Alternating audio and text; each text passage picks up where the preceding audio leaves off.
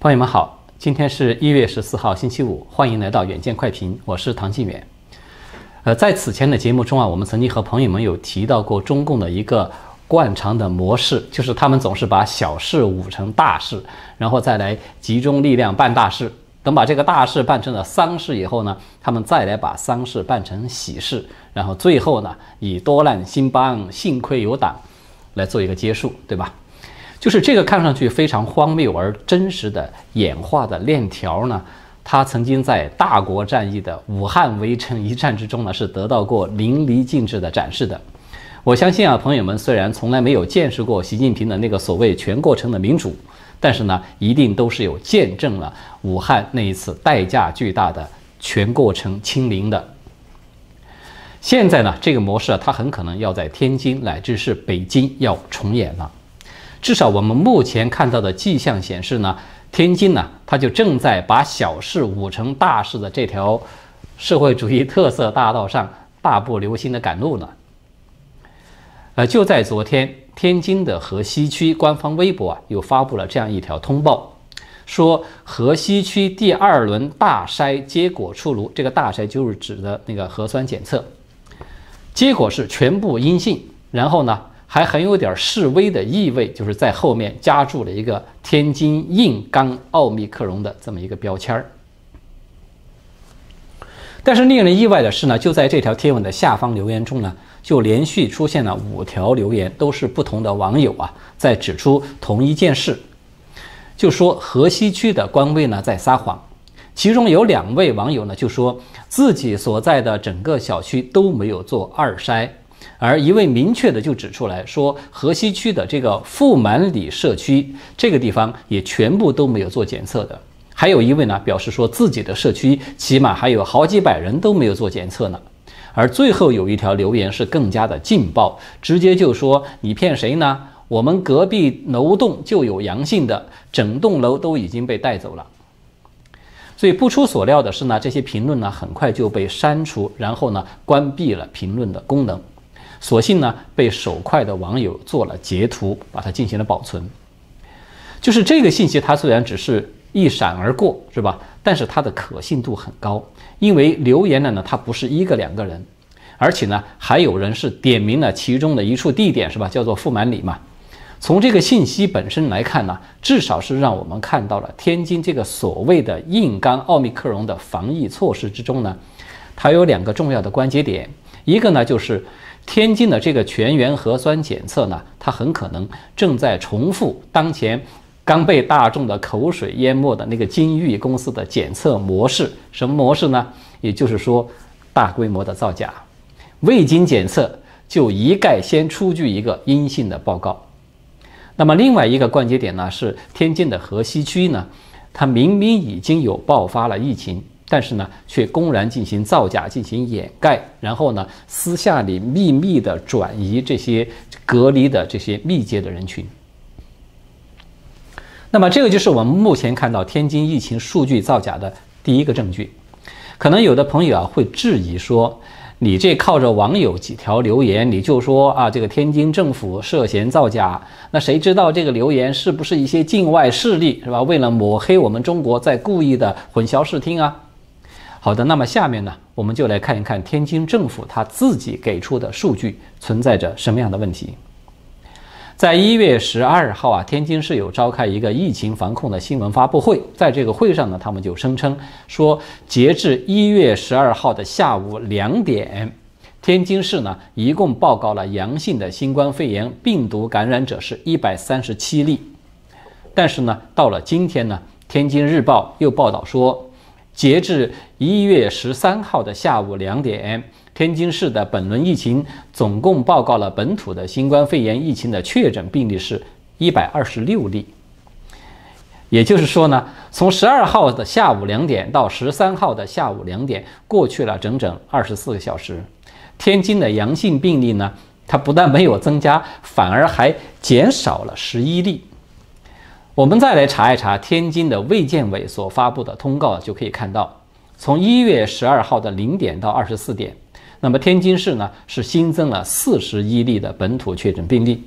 那么十三号从零点到二十四点，天津市呢是新增了三十四例的本土的确诊病例。所以呢，二者加起来啊，就是说从十二号的零点到十三号的二十四点这四十八小时之内呢，至少是新增了有七十五例的确诊病例。那么这个就很清楚地显示出来，虽然天津日报的那个报道数据呢，它只是截止到了说十三号的下午两点，对吧？但是我们可以看到，从十二号到十三号这两天啊，这个病例数呢，它一直都是呈现两位数的增长，这个是非常肯定的答案。那么它怎么可能出现这种病例总数反而还倒退、反而减少的结果呢？就是诸如此类啊，露出的马脚呢？我想在其他各区的数据啊，可能都是还有存在的。而限于时间的紧张呢，我来不及一一的去进行搜索和查证了。天津的河西区，它还没有检测，就提前的宣布说我们全员核酸检测都是阴性。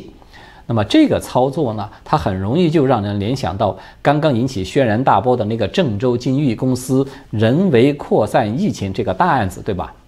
非常有意思的是呢。这个案子呢，他被许昌的公安通报之后呢，广州金域的总部啊，当天就有发表了一份的声明，就声称说，经过我们公司调查，网络上流传的那些主动传播病毒、丢失样本、伪造数据、还有隐瞒数据等等这些情况，全都不存在，这些都是谣言。对于恶意造谣传谣者，金域公司将要保留依法追究的这个权利等等。我们之所以说它是有意思呢，就是说不得不感叹啊，这个钟南山他果然是神通广大。就在案发当地的许昌公安局，到现在啊，他都还说我们在继续的调查之中呢，都还没有查清楚这究竟是怎么回事儿呢。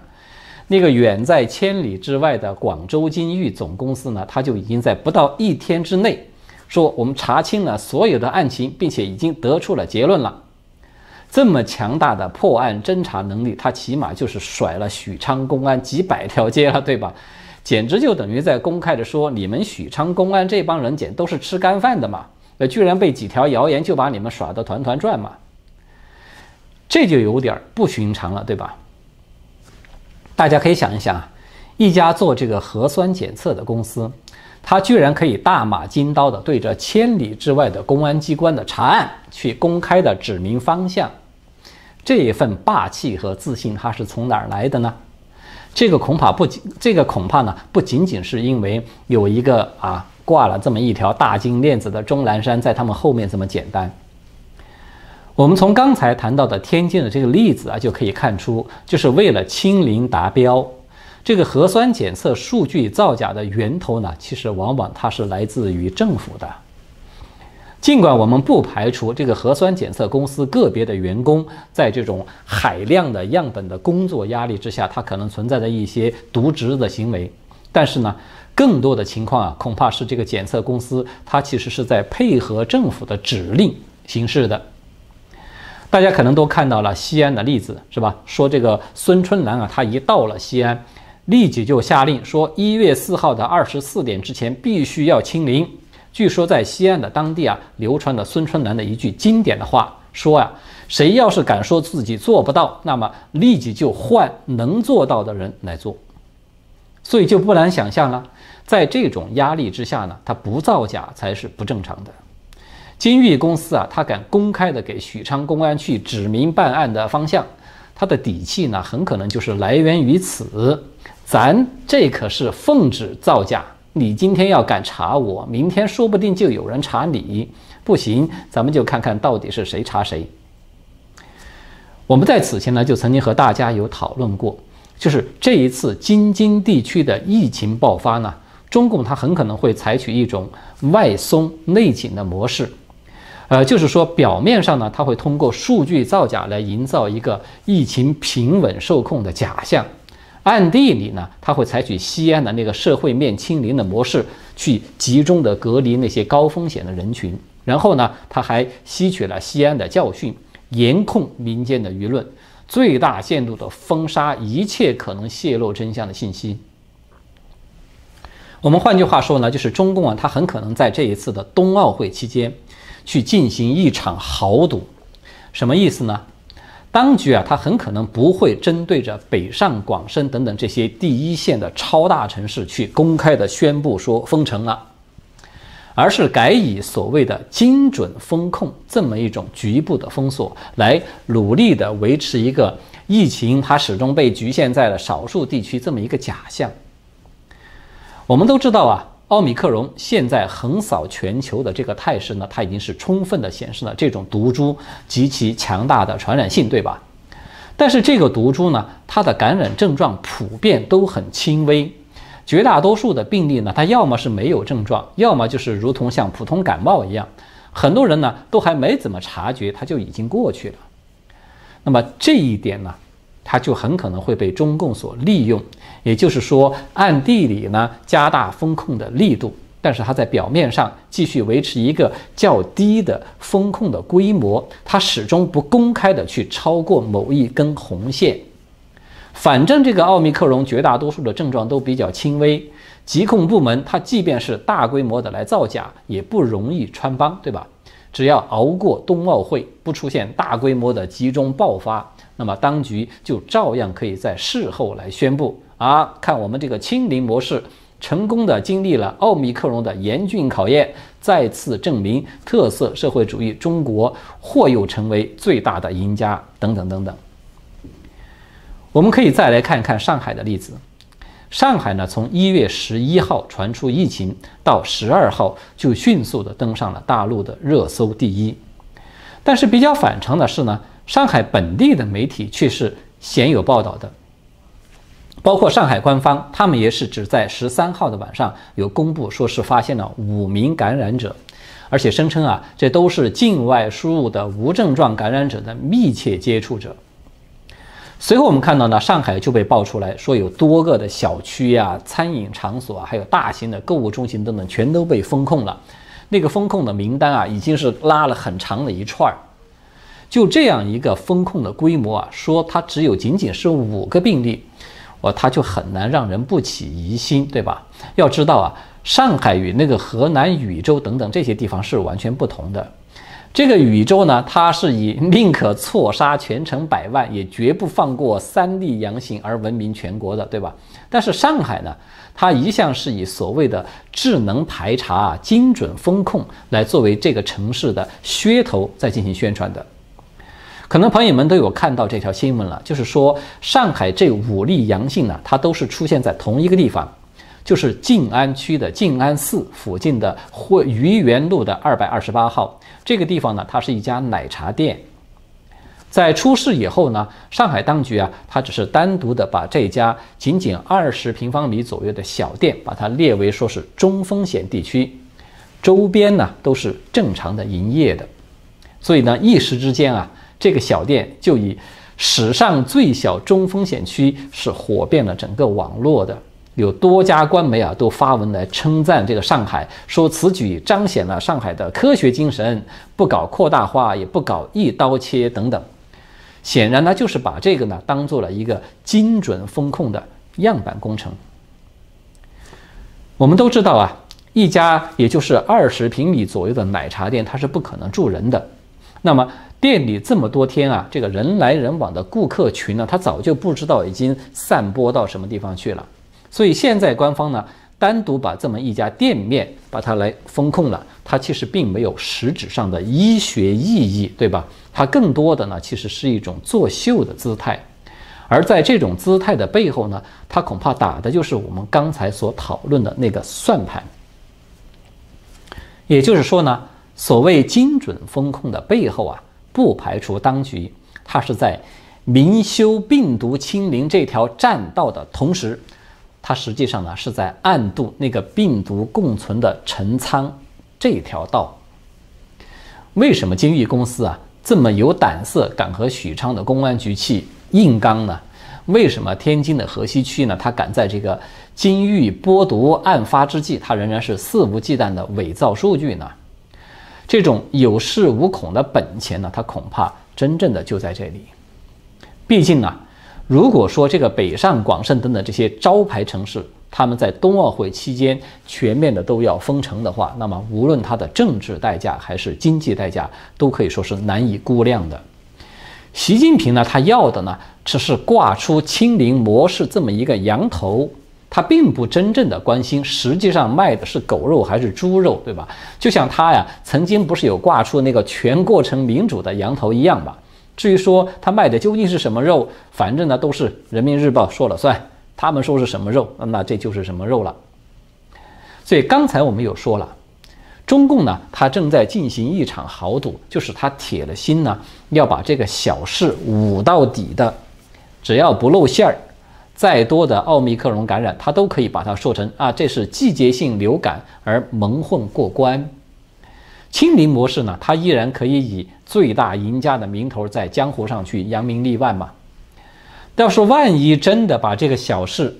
捂成了大事了。那么这个感染人数啊，把它，比如说它爆棚了，纸已经包不住火了，那么也没有关系，修改一下这个清零的定义，把与病毒共存重新把它定义为这是特色社会主义的全过程清零就可以了。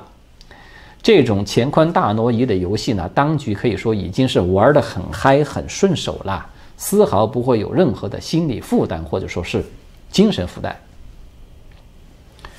好的，最后还有一点时间，我们来简要的说一说习近平最近的一系列的反腐的动作。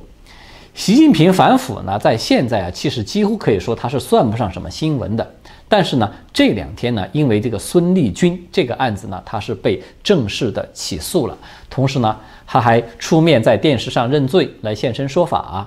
加上党媒啊，营造了这个反腐的舆论声势，抛出来一系列的文章，尤其其中是有提到了。刑不上大夫这个敏感的话题，所以呢，还是值得我们关注一下的。在一月十号的时候呢，中共公安部是最先在这个新闻发布会上再度的点名了孙立军，这个就算是一个开头了。他就说，肃清孙立军的流毒影响是重大政治任务，是重中之重等等。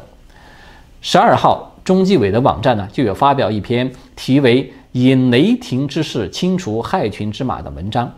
就点名二零二一年的落马的所有的政法系统的高官，那么孙立军等等这些人呢，是再度的被拎出来给晾晒了一遍。那么到了十三号的时候呢，中共的最高检察院就公布说，孙立军呢，以涉嫌受贿、操纵证券市场，还有非法持有枪支这么三宗罪。由长春市的检察院呢，向这个长春市的中级法院提起起诉了。那么在同一天呢，中纪委、国监委的官方网站还有发布一条消息，说这个电视专题片《零容忍》就是这个名字啊，它将从一月十五号开始在央视的一套来播出，其中呢将有三个大老虎会现身说法，而孙立军呢在这个预告片中呢是有出现的。那么到了十四号，也就是今天了。人民日报在它的头版又发表了一篇题为《窑洞之问》的答卷人的这么这么一篇文章，是再度的大谈自我革命，并且呢就引述了习近平啊曾经放出的那句狠话，说对那些在党内搞政治团伙、小圈子、利益集团的人要毫不手软，坚决查处。此外呢，这篇文章啊，他还罕见的喊出了打虎拍鹰。哪管刑不上大夫这样的话，我们在以前曾经和大家讨论过啊，就是毛泽东他当年和黄炎培在窑洞的那个对话之中呢，毛泽东就声称说，跳出中国历史上治乱兴衰周期率的答答案呢，只有一个，就是要建立民主制度。这个呢，他只不过是毛泽东在日本即将要战败投降之际放出的一个欺诈的谎言嘛，他放在今天其实显然已经不好使了。所以呢，习近平他现在借用这个“窑洞之问”这个旧瓶，他装上了自己的一点新酒。什么酒呢？就是他最近在反复强调这个所谓自我革命。这个话呢，他要是应对到我们当前，他说白了就是习近平他要废掉邓小平的那一套束缚，要重定党内的帮规，尤其是在反腐的问题上，他可能还要大打出手的。既然叫做革命嘛，那当然就不是请客吃饭了，而是要流血斗争的嘛。所以呢，这次党媒啊，他喊出说哪管刑不上大夫，他就多少有点不寻常。众所周知啊，习近平他在十九大以后呢，这个反腐是明显的降了规格的，就是重新回到了胡锦涛时代的那个反腐的最高上限不超过部级官员这一根线。如此一来呢，副国级以上的官员其实都等于是有了一个刑不上大夫的免查的金牌。那么这个在当时呢，他是习近平为了要顺利的修宪而与党内呢达成的一个妥协。那么现在我们看到这个党媒是明确的要说要废掉这个刑不上大夫了，那么显然就说明习近平他现在的压力有点大了。从抛出孙立军起诉到这个党媒公开的喊话，他当然都是有序安排的一整套的组合拳，对吧？